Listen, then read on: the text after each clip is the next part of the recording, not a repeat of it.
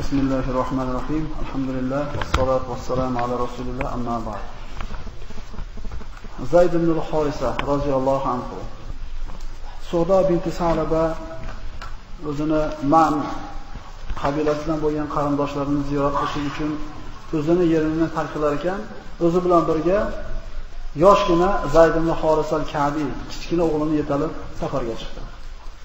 Bular ana shu qasd qilgan qabilani yerga kunga qadar yo'lda ularga alqayn degan qabilani odamlari hujum qildi. Ular bilan jang bo'ldi safarda bo'lgan odamlar bilan va ularda asir yoki cho'ri qilib ketishdi. Ushlanib asir qilib olib ketganlar ichida ana shu 8 yasharlik Zayd ibn Horisa ham bor edi.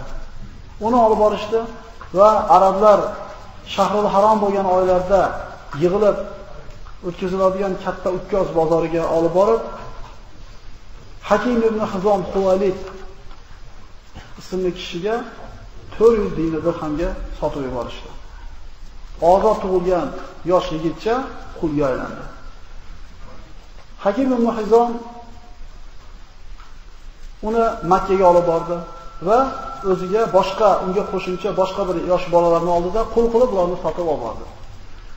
Hakim ibn Hizomni xolasi bo'lgan yoki opasi bo'lgan, opasi deydigan, opasi hadisha bint Huvaylid roziyallohu anha payg'ambar sollallohu alayhi vasallam ayollari uni ziyoratiga borganida, "Ey xolam, ey opa" dedi, "Men Ukkoz bozordan bir qancha qul bolalarni sotib olib keldim. Ko'ring, yoqtirganingizni sizga hadya qilaman. Sizni qulingiz, sizni xizmatchingiz bo'lsin."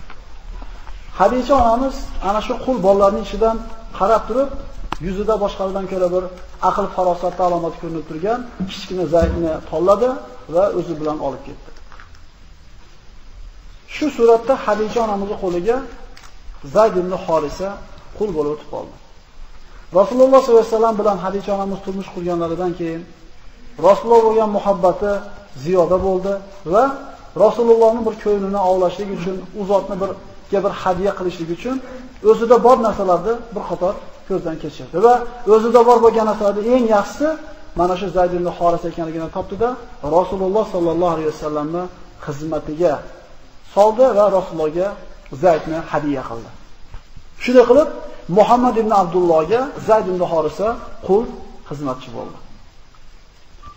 Zayd ibn Xorisa mana bilamiz Rasululloh sollallohu alayhi vasallam payg'ambar bo'lgunga qadar ham go'zal axloq, go'zal bir e, shamoil egasi bo'lgan.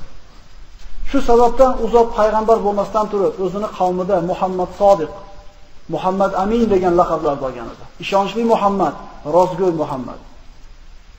Rasulullohning axloqi nihoyatda go'zal bo'lgan. Hadija onamizni quli Maysara, mana bilamiz Hadija onamiz juda katta bir boy ayol bo'lgan. Qo'lidagi tijorat mollarini yoki pulini ishonchli bo'lgan Qurashda ko'zga ko'ringan ishonchli bo'lgan odamlarga bir qismini berardi-da, sherlikka, muzorabaga pul berardi. Rasulullohga turmushga chiqqunga qadar ham payg'ambarimizni go'zal axloq omonatdorligini eshitgandan keyin o'zining pulidan bir qismini Rasulullohga berdi va Shomga safarga jo'natdi. O'zi bilan birga Maysar ismli qulini ham qo'shib beradi. Rasulullohga borib kelishligi nihoyatda bir barakotli bo'ldi tijorati va Maysaraga payg'ambar sollallohu alayhi vasallam go'zal axloq egasi ekanligi ma'lum bo'ldi. Hadis onamizga aytib berdi. Ana shu go'zal axloqni Zayd ibn Horisa ham ko'rdi va payg'ambarimizga muhabbatda qattiq bo'ldi. Zayd Muhammad alayhisalom hali payg'ambar bo'lmasdan turib, u zotning qo'lida xizmatda turar ekan, ota-onasi Zaydning ota-onasi nohata bir g'amda qayg'uda edi. Otasi Horisa juda ko'p qidirishlikka vaqtini va molini sarf qildi. Ularni qabilasiga kelgan har bir yo'lovchidan yoki savdo karvonlaridan o'zini o'g'li haqida so'rar edi, lekin hech bir darakni topa olmadi. Na tirigini, na o'ligini. Zayd ibn Horisa payg'ambar sollallohu alayhi qilib Makka da yurar ekan, haj mavsumida Zaydning qabiladoshlari haj qilgani kelishdi Makkaga. Ka'bani tavof qilayotgan paytda Zayd ibn Horisa bilan yuz-yuz to'qnashib qoldi.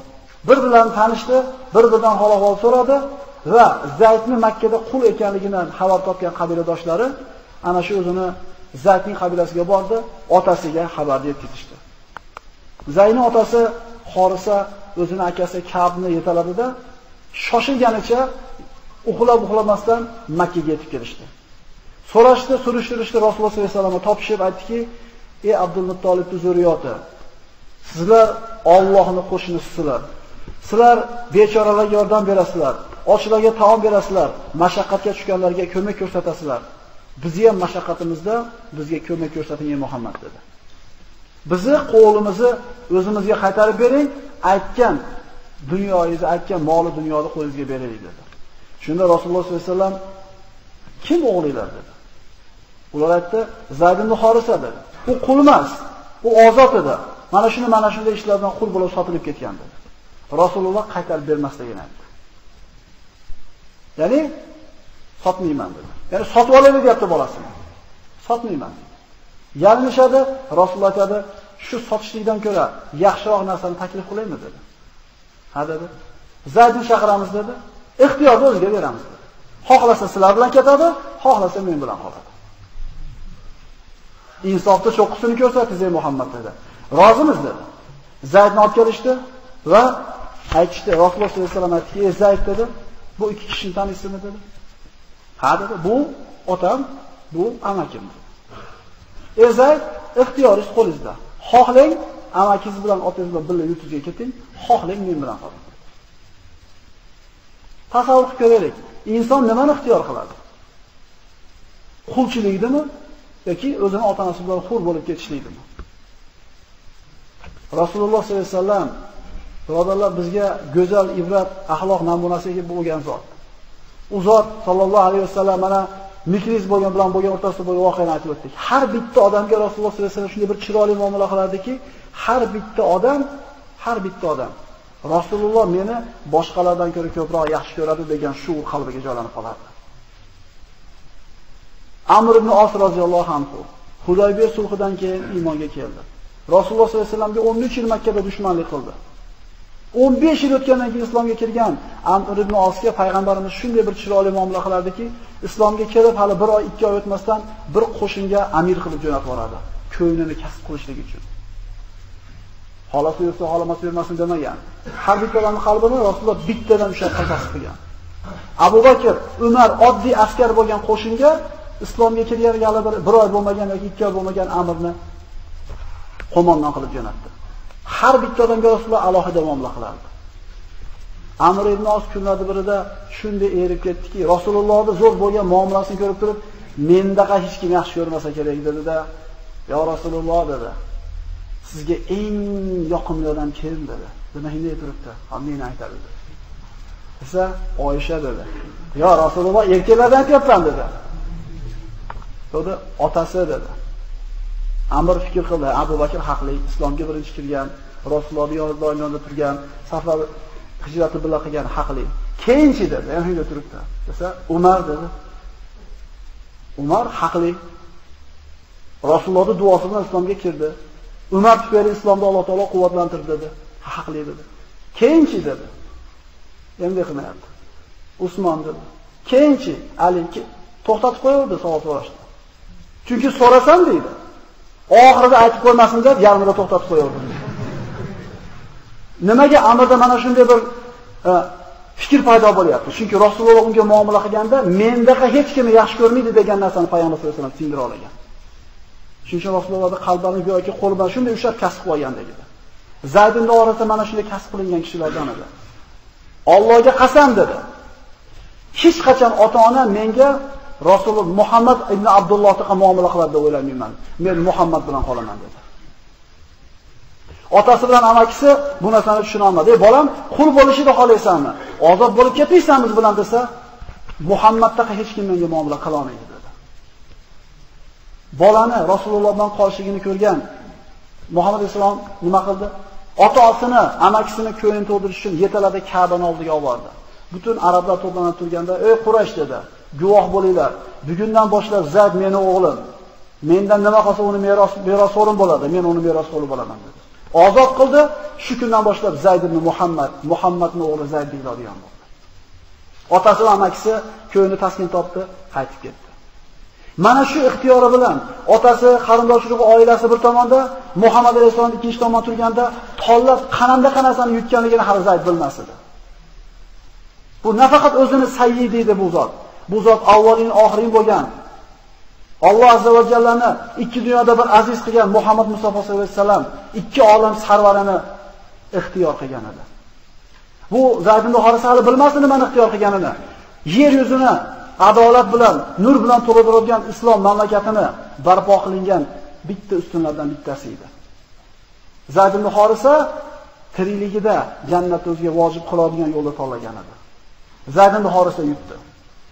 Mana shu ixtiyorga hech qancha vaqt o'tmadi, Alloh subhanahu va taolo payg'ambar sollallohu alayhi vasallamga risolatini, vahiysini nozil qildi. Va Zayd ibn Horisa islomga kirgan birinchi erkak kishilardan bo'ldi. Rasulullohga birinchi iymon keltirgan Hadija onamiz bo'lsa, ikkinchisi Zayd ibn Horisa, tashqaridagi erkaklardan birinchisi Abu Bakr, birinchi yosh boladan Ali roziyallohu anhu bo'ldi. Demak, islomga kelgan birinchi erkaklar qatorida Zayd ibn Horisa bo'ldi. Bu shunday bir katta binoda boshlanishi edi. Bu bunaqa bino tarixda misli ko'rilmagan edi. Va ana shu binoda birinchi g'ishi Zayd ibn Horisa bo'lishi sharafini Alloh taolo berdi. Demak, bu Alloh taoloning fazli edi. Xohlagan bandasiga beradi va Zaydga berishni Alloh taolo xohladi. Zayd ibn Horisa payg'ambarimizni o'zini otasidan ham ziyod yaxshi ko'rgandek, Rasululloh ham Zaydni o'zining o'g'lidan yaxshi ko'rgandan ko'ra yaxshiroq yaxshi ko'rdi. O'zini oilasidan deb sanadi, o'ziga nihoyatda yaqin oldi. Oysha onamiz payg'ambar aleyhissalomni Zaydga bo'lgan muhabbatini quyidagi hikoyasidan bilib olsak bo'ladi. Zayd Madinadan tashqariga safar qildi. Bir necha kun yo'l bo'ldi. Va Madinaga kelib, Rasululloh sollallohu alayhi vasallam Oysha onamizning hujrasida o'tirganda eshikda taqillatib qoldi. Zaydligini eshitib Rasululloh sollallohu alayhi vasallam shu tizzasi bilan kindigiga o'ralgan holda yarim yalang'och irg'ib turdi-da eshikni ochdi. Zaydni ko'rib qunagandan quchoqlab peshonasiga o'pib bag'riga bosdi. Oysha onamiz aytadi, mana shundan avval ham, mana shundan keyin ham Rasulullohni bunday yarim yalang'och holatda ko'rgan emasman. Rasululloh Zaydni haqiqiy muhabbat bilan yaxshi ko'rdi. Chunki bu shunga loyiq kishi edi.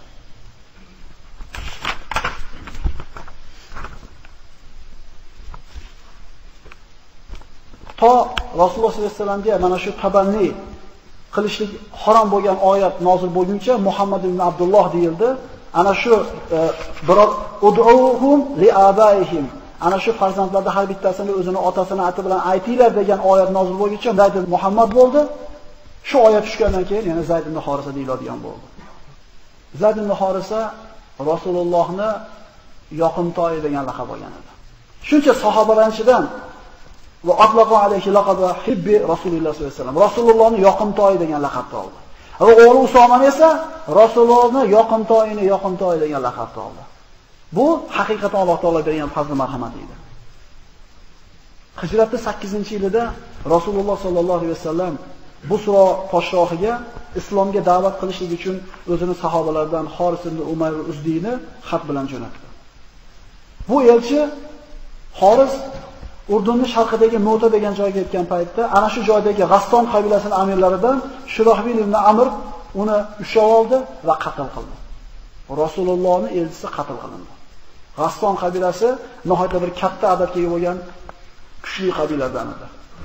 Rasululloh sollallohu alayhi vasallam bu qilgan ularning xiyonati uchun musulmonlardan iborat 3000 qo'shinni Motaga g'avorga jo'natdi.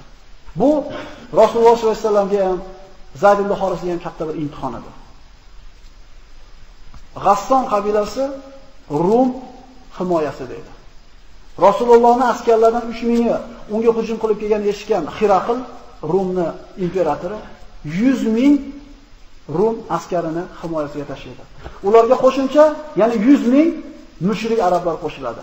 3000 ta musulmonga 200 mingta mushrik ro'bara chiqadi. Ularga boshliq qilib Rasululloh sollallohu alayhi vasallam Zayd ibn Xorisani amir qiladi. Zayd ibn Xorisa Rasululloh sollallohu alayhi vasallam aytadiki, ya'ni ketayotgan ro'para bo'ladigan dushmanlik qattiqligidan payg'ambarimiz aytadi, agar Zayd shahid bo'lsa, Ja'far ibn Abi Talib amir bo'lsin. Agar Ja'far ibn Abi Talib shahid bo'lsa, Abdulloh ibn Ravoha amir bo'lsin. Agar Abdulloh ibn Ravoha ham shahid bo'lsa, musulmonlar o'zlari lashkar boshlari bo'lsin. Shu gap Madinada tarqaganda yahudiylar kelib aytadiki, qaysi payg'ambar agar falonchi o'lsa falonchi, falonchi o'lsa falonchi desa 100 tasini sanagan bo'lsa, hammasi o'ladi. Muhammad bu 3 ta sahobasiga o'limni hukmini o'qib qo'ydi. Musulmonlar 3000 qo'shin 200 ming qo'shinga qarshi ro'baro bo'ldi. 200 ming. Shunda musulmonlar Mo'tada keldi. Mana siyratda gapirilgan darslarni eshitdinglar. Ikki kecha o'tirib maslahat qilishdi. Nima qilamiz? 200 mingga 3 ming, bu aql bovar qilmaydi. Nima qilamiz? Rasulullohga xat yozaylik. O'rtadagi adadlarni kattaligini farqini aytaylik, so'ngra Rasulullohdan hukm kelishini kutaylik dedi. Shunda ba'zilar aytdiki, e, to'xtanglar, biz qaysi qachon sonimizni ko'pligi bilan qurol aslahamizni kuchi bilan yengamiz. Biz iymon bilan yengamiz dedi. Shahidlikni istab kelganmisizlar? Ro'barilarda turib shahidlik. Rasululloh buyurdimi? Jang qilamiz dedi. Esinglardan chiqmasin birodarlar dedi. Bir-biriga nasihat qilib. Bizga albatta ikkita g'alabadan bittasi albatta tegadi. Yo g'olib bo'lamiz ular ustidan, yo shahid bo'lamiz dedi. Imma zafar, imma shahada. Yo shahidlik, yo g'oliblik bor dedi. Musulmonlar 3000 bo'lishiga qaramasdan 200 ming qarshi turgan qo'shinga qarshi hujum qilishdi. Mana Mu'ta Hazrat 10 keldi inshaalloh batafsil gaplashamiz. 7 kun musulmonlar hujum qiladi. Kun yorishib yorishmasdan hujum qiladi, esini tanitmaydi ularda. 7 kun. 8-kunga borganda bu mushriklar biz boshlaymiz endi hujumni deydi. Jang qattiq bo'ladi. Zayd ibn Horisa roziyallohu anhu bayroq oladi, kiradi va tarixda misli ko'rmagan qahramonlik ko'rsatadi. Mushriklar, bu rumliklar 3000 ta odamni 2000 ta odamga qarshi chiqishlikka yuragidagi quvvatiga qoyil qolishadi, dahshatga tushishadi. Chunki bular yengish uchun borgan emas edi, Allohdan roziligi uchun borgan edi. Natijasi qiziqmas edi bularga. Alloh va Rasulining buyrug'ini bajarsa bo'ldi edi bular. Bir necha kun jang bo'ldi. Zayd ibn Horisa ana shu otda turganda, bir qo'lda bayroq bilan jang qilganda, o'nlagan balki yuzlagan kamon o'qlari, nayzalarini yiqitdi va qoniga cho'milgan holda yiqildi. Rasululloh sollallohu alayhi vasallam shu paytda Madinada musulmonlarni yig'ib, Mo'tada bo'layotgan narsani to'g'ridan to'g'ri hikoya qilib berib turar edi. Zayd shahid bo'ldi. Bayroqni Ja'far ibn Abi Talib oldi dedi. Rasululloh Madinada gapirib berib turdi to'g'ridan to'g'ri, xuddi ko'rib turgandek. Ja'far ibn Abi Talib oldi bayroqni. Zayddan bo'lmagan, Zayddan kam bo'lmagan shijoatni g'alati ko'rsatdi, u ham shahid bo'ldi. Bayroqni Abdulloh ibn Ravoha oldi. U ham mana shunday bir qahramonlik ko'rsatdi, u ham shahid bo'ldi. Rasululloh sollallohu alayhi vasallam aytgan uchala amir shahid bo'ldi. So'ngra musulmonlar islomga yangi kirgan Xolid ibn Validni amir qilib saylashdi. Va bu Xolid ibn Validni muzaffarona hayotini birinchi kuni edi. Xolid ibn Valid lashkarboshi bo'lgan hech bir qo'shin yengilgan emas keyin. Shuning uchun Sayfulloh deyiladi u kishi. Xolid ibn Valid mana shu 3000 askardan qolganini 200 ming ro'para turgan qo'shindan shunday bir hiyla bilan chekintirib sog' omon Madinaga olib keladi. Chunki odatda qo'shin chekinayotganda uni har tomondan urishlik oson bo'ladi. Shunda bir hiyla qiladiki, qattiq hujum qiladi. o'ng tomondagini chap tomonga, chap tomondagi o'ng tomonga oladi va bir qancha musulmonni bo'lib qo'yadi. Bo'linib bo'linib Alloh akbar deb kirib kelasizlar jangga. Go'yoki Madinadan madad kelayotgandek. Shuni surib oboradida boradida hammasini birdaniga chekinadi, Madinaga ketishadi. Mushriklar bu hiyla bo'lsa kerak. To'xtab turinglar deydi. Bular esini yiqisha Madinaga yetib keladilar. Madinaga yetib kelganda musulmonlarning yosh bolalari Alloh yo'lidagi g'azotdan qaytib keldilarmi? Qo'rqoqlar deb tosh bilan kutib olgan ekan. Rasululloh yo'q, bular qo'rqoqmi, bular albatta qaytib boradi. Men o'zim himoyamga olaman bo'ladi dedi. Zayd ibn Horisa mana shunday shahid bo'ldi. Rasululloh sollallohu alayhi vasallam uchala tayinlagan amirining uyiga bittama-bitta borib ta'ziya bildirdi. Zayd ibn Horisaning uyiga borganda qizi qattiq yig'lardi Rasululloh sollallohu alayhi vasallam bag'riga bosdi va ularni joylari jannatda bo'lishligini xabarini berdi. Bu qizini bag'riga bosib Rasululloh yig'lab shunday bir hiqillagan ovozlar chiqqanda sahobalardan Sa'd ibn Ubadiy Rasululloh yig'layapsizmi deganda ha bu yaxshi ko'ruvchini yaxshi ko'ruvchidan ayrilgandagi ko'z yoshlari dedi. Alloh taolo Zayd ibn Horisani Firdavs jannatiga kirgizgan bo'lsin. Zero bu zot Rasululloh sollallohu alayhi vasallamning muhabbatiga sazovor bo'lgan va buyrug'ini ikkilanmasdan bajargan kishilardan edi. Nasib bilan bizga ularning hayotidan ibrat olishni hammamizga nasib qilgan bo'lsin. Assalomu alaykum va rahmatullohi va